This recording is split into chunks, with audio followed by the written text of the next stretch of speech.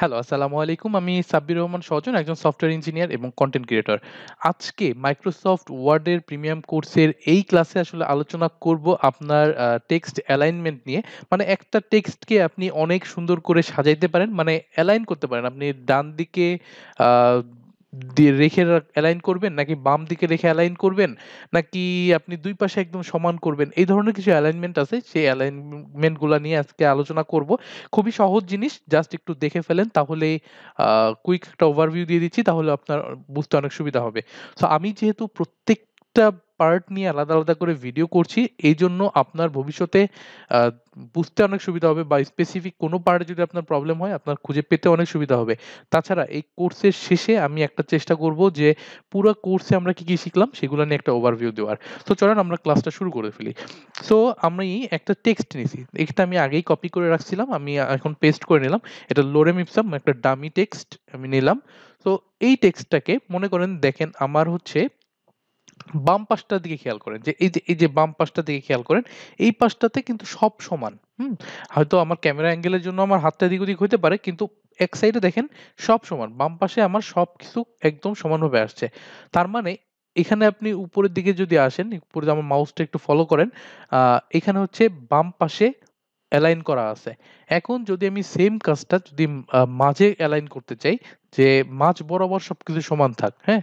তো মাঝে যদি ক্লিক করি তাহলে দেখেন এই দুই পাশে একটু এলোমেলো হইছে কিন্তু মাঝ বরাবর সবকিছু চলে আসছে। মানে লেখাগুলা একদম মিডল পয়েন্টে চলে আসছে। এখন আমি চাইলে এই লেখাগুলা থেকে ডান দিকে সমান করতে পারি, হ্যাঁ? আমার এই পাশে সমান করতে পারি। তার জন্য আমি যদি এইখানে রাইট অ্যালাইন করি, এখানে যদি ক্লিক করি তাহলে কিন্তু সবকিছুর ডান পাশে চলে আসছে। মানে ডান দিক ঘেঁষে সবকিছু চলে আসবে। আবার আমি যদি চাই আমার না এখন আমার দুই পাশে একদম এক্সাক্ট সেম সাইজ হইতে হবে। তো সেক্ষেত্রে আমি এই পাশে যেটা আছে যে জাস্টিফাই, জাস্টিফাইটা ইউজ করতে পারি। জাস্টিফাইটা ইউজ করলে দেখেন এই পাশেও বাম পাশেও আপনার সবকিছু সমান হয়ে গেছে, ডান পাশেও সবকিছু সমান হয়ে গেছে। তো সাধারণত বিভিন্ন টেক্সট লেখার সময় জাস্টিফাই কনটেন্টটা ইউজ করা হয় সব থেকে বেশি। তারপরেও জাস্টিফাই কনটেন্টটা বেশি ইউজ করা হয় আর ইউজ করা হয় হচ্ছে লেফট অ্যালাইনটা।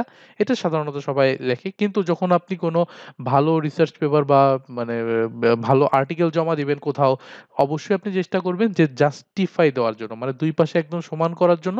তাতে আপনার দেখতে অনেকটা সুন্দর লাগে। সো এই ক্ষেত্রে একটা জিনিসই একটু মাথায় রাখবেন যেন স্পেসিংগুলা যেন ঠিকমতো দেন তাহলে আপনার জাস্টিফাই কন্টেন্টটা খুব সুন্দর মতো আসবে এবং টেক্সটগুলো আসলে পড়তেও অনেক সুবিধা হয়। কারণ দেখবেন আমাদের যখন আমরা বিভিন্ন বই পড়ি, বইয়ে দুই পাশে একদম সমান মার্জিন রাখার চেষ্টা করা হয়।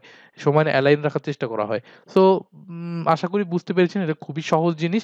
আপনি জাস্ট কাজ করার সময় এই অ্যালাইনমেন্টের বিষয়গুলো একটু মাথায় রাখবেন। তাহলে দেখবেন যে আপনার আর্টিকেলটা অনেক বেশি ইউজার রিডেবল হয়ে গেছে। মানে ইউজাররা আপনার আর্টিকেলটা পড়ে অনেক বেশি আকৃষ্ট হবে এবং দেখতেও অনেক সুন্দর লাগবে। সো আজকের ভিডিওটা এই পর্যন্তই। নেক্সট ভিডিওতে আরও বেশ কিছু বিষয় নিয়ে আলোচনা করব। Till then take care.